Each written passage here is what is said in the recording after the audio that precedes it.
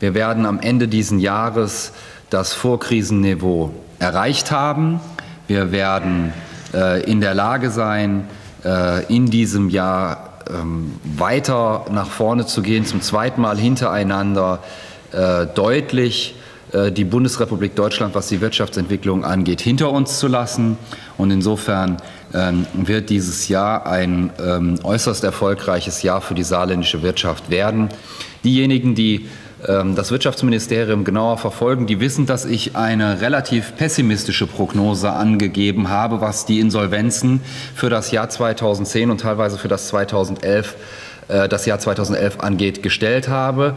Ich muss diese pessimistischen Prognosen, ich darf diese pessimistischen Prognosen korrigieren. Während wir im ersten Halbjahr 2010 noch auf Rekordniveau von 2009 gewesen sind, wir haben 2009 441 Insolvenzen gehabt, die höchsten Insolvenzen in der Geschichte des Saarlandes. Im ersten Halbjahr 2010 haben wir auf dem Rekordniveau äh, ebenfalls gelegen haben wir im zweiten Halbjahr uns deutlich nach unten entwickelt, was die Insolvenzen angeht. Zweites Thema ist die Fragestellung der Ausbildungsverträge. Und dort ist es so, dass die Ausbildungsverträge um 3,6 Prozent zurückgegangen sind, was sich ja zunächst mal negativ anhört. Das ist aber darauf zurückzuführen, dass wir demografisch bedingt 1400 weniger Schulabgänger gehabt haben.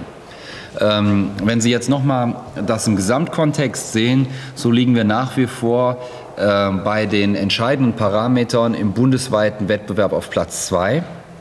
Also will heißen, sowohl bei den abgeschlossenen Ausbildungsverträgen je 10.000 Einwohner 82,6, Platz zwei aller 16 Bundesländer, als auch bei der Fragestellung, äh, wie viel Angebote äh, wir haben und wie viel Nachfrager wir haben, liegen wir bei 104 Stellen pro Bewerber. Auch das ist Platz zwei aller 16 Bundesländer. Wir gehen im Moment davon aus, dass wir im Jahresdurchschnitt 33.000 äh, Arbeitslose erreichen können, was bedeuten würde, dass wir im November bei deutlich unter 33.000 liegen. Äh, das wird dann Richtung 31.000, 31.500 gehen können am Ende diesen Jahres, also im November, immer vorausgesetzt, dass äh, die Konjunktur so weitergeht wie bisher. Also wenn irgendwas platzt, dann äh, stimmen die Prognosen natürlich nicht mehr. Aber allein diese Zahlen zeigen eben auch, in welche Richtung wir unterwegs sind, nämlich dramatisch in Richtung Fachkräftemangel.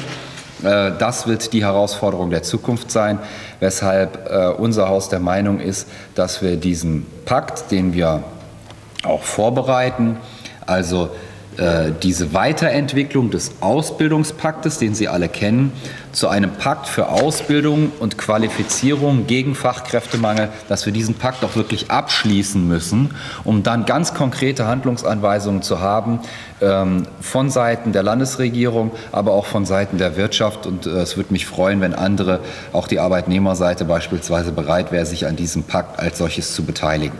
Lassen Sie mich als letzten Punkt ansprechen das Thema Stimmung in der Wirtschaft, sowohl was Deutschland insgesamt angeht, als auch was äh, das Saarland angeht. Der IFO-Geschäftsklimaindex ist so gut wie seit 1991 nicht mehr. Ähm, IHK-Konjunkturklimaindex äh, liegt nach wie vor auf einem extrem ähm, stabilen hohen Niveau. Der Erwartungsindikator ist auf einem Dreijahreshoch, also höher als vor der Krise. Und der Handwerkskammer äh, ähm, ist auf einem Niveau, das in den letzten zehn Jahren nicht erreicht worden ist. Also die Erwartungen von Seiten der Wirtschaft in der Breite ist entsprechend positiv. Was die Insolvenzen betrifft, also das, was bei uns bei runden Tischen bei der Servicestelle Mittelstand aufschlägt, so ist das auf einem sehr niedrigen Niveau.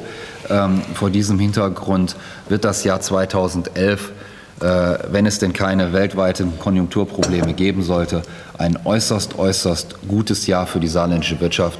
Und deswegen bin ich auch sehr froh, dass ich Ihnen diese äh, guten Prognosen und Dinge hier an dieser Stelle äh, mitteilen darf. Herzlichen Dank.